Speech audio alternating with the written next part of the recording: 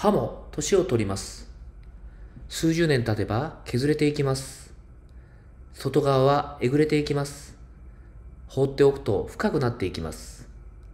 今回は歯の加齢的変化を深掘りしていきます。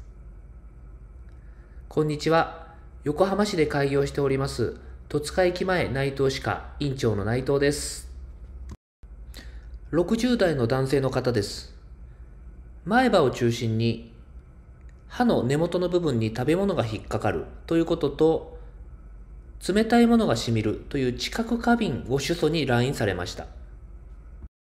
この方の歯に起きている加齢的な変化は大きく2つ。歯の上の部分が摩耗により平らになってしまっている変化ですね。何十年もの噛み合わせによりエナメル質がなくなってしまい中の象牙質が露出しているような状態になっています。30代後半から40代ぐらいの方でしたらすでに象牙質が出てる方多いんじゃないんでしょうか。鏡を持ってきていただいてご自身でチェックをしてみてください。下の前歯に線のような筋が入っていたらそれはおそらく象牙質の可能性が高いです。それがすぐに悪さをするわけではないんですが、もうそろそろ削れてきてますよというサインになります。60代ぐらいになってきますと、平らな面というより、むしろ凹んでいるような感じ、くぼんでいるような感じになっていきます。これは外側のエナメル質に比べて中の象牙質が柔らかいために起きるわけですね。歯は靴底と一緒で少しずつ削れていきます。歯が生え始めてから何十年も経って削れない方はいらっしゃいません。摩耗は大なり小なり起こります。ただ、非常に摩耗の強い方はマウスピース等を入れた方がよろしいかと思います。夜寝てる間のギリギリと音の鳴る歯ぎしりをされる方、そのような方は歯の摩耗のスピードが速いです。若いうちから前歯が平らになってしまっている方いらっしゃいませんか？そのような方はナイトガードという種類のマウスピースを入れることをお勧めいたします。詳しい説明はもう少し後でしますので、最後まで動画をご覧ください。ただし、この患者様は前歯のすり減りに関してはほとんど気にされてないんです。そしてそういう方非常に多いんですね。ですから、前歯のすり減りに関しては今回治療の対象とはしませんでした。今回問題になったのは、二つ目の歯の加齢的な変化。くさび状欠損です。歯の生え際の部分の歯だけがえぐれるようになくなっていってしまう現象をくさび状欠損と言います。このくさび状欠損も早い方でしたら30代ぐらいから見られます。40代になりますと多くの方がくさび状欠損あります。そして40代、50代、60代、年齢とともにくさび状欠損は深くなる傾向が強くなります。外側のエナメル質が飛んで中の象牙質が露出してしまうわけですから、象牙質知覚過敏症、通称知覚過敏といって冷たいものがしみる症状になりやすいということになります。それではくさび状欠損の治療を見ていきます。治療自体はそんなに難しい治療ではないんですね。歯のえぐれてしまった部分、欠けてしまった部分に接着剤を塗って歯科用のレジンを貼り付けていく。そういう治療になります。今これ何してるかと言いますと、歯の表面の新しい新鮮面を出してるんですね。そして多少虫歯もありますので、その虫歯も削り取ると。そして接着剤のつきやすい下地を作っているわけです。今回の治療対象の歯は9本、すべてくさび状欠損になります。患者さんが頑張ってくれれば、1日で全て治すことができます。このくさび状欠損、ご覧になっててお分かりいただけると思いますが、みんな同じような場所に置きますよね。歯の生え際の部分だけに置きます。このくさび状欠損の原因も実は噛み合わせの力なんです。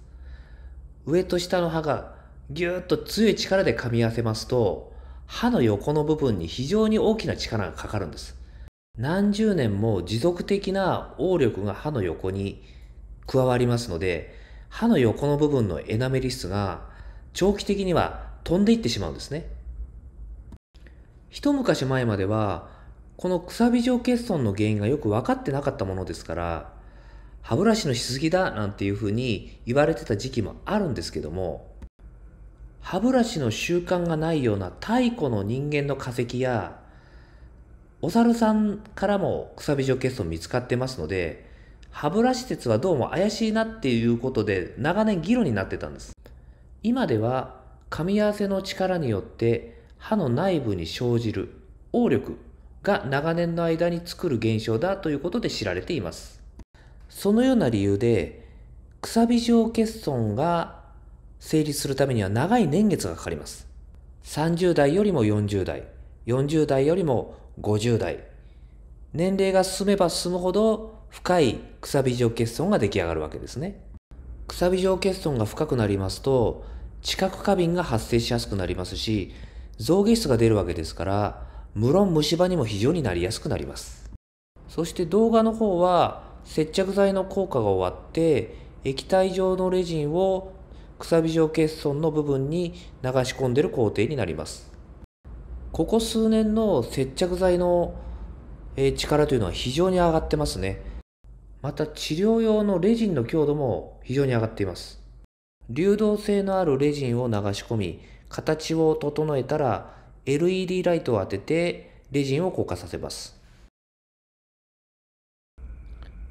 他の部分は同じ工程になりますので、ちょっと早送りをしていきます。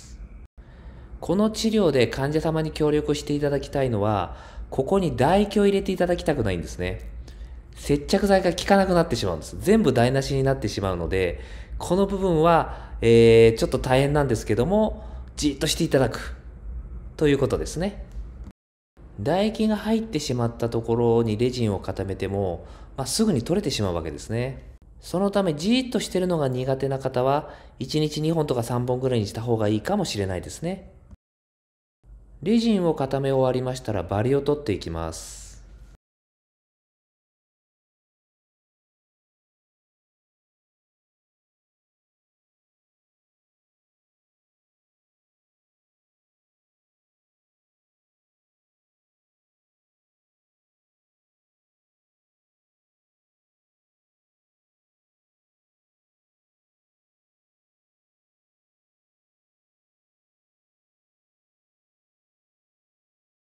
これでレジンのバリが取れましたので、次にヤスリを使ってレジン表面を滑卓に仕上げていきます。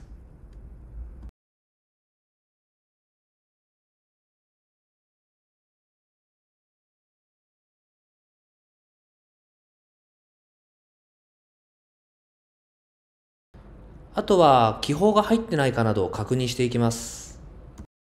修正点を修正しておおよそこれでおしまいになります。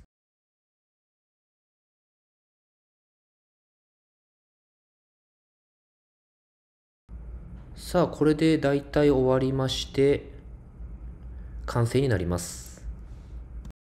しかし、噛み合わせの力は相変わらず続くわけですから、歯にかかる応力によって、レジンも数年後にはまたなくなっていきます。また数年後に同じような場所に同じような治療をしていく必要があるということになりますね。このように摩耗やくさび状欠損など歯の加齢的変化をマイルドにするための方法として有効なのはマウスピース、ナイトガードと言われるものですね。歯を保護するために柔らかいビニール製のマウスピースを作って夜これをつけて寝ていただく。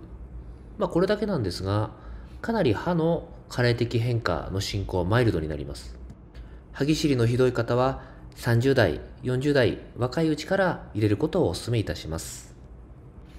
え以上をもちまして、歯の加齢的変化についての説明動画を終わりにします。長い時間ご清聴ありがとうございました。横浜市近郊にお住まいの方、お口の中のお悩みございましたら、当院までお電話ください。ご意見、ご感想、ご質問ございましたらコメント欄にどうぞ。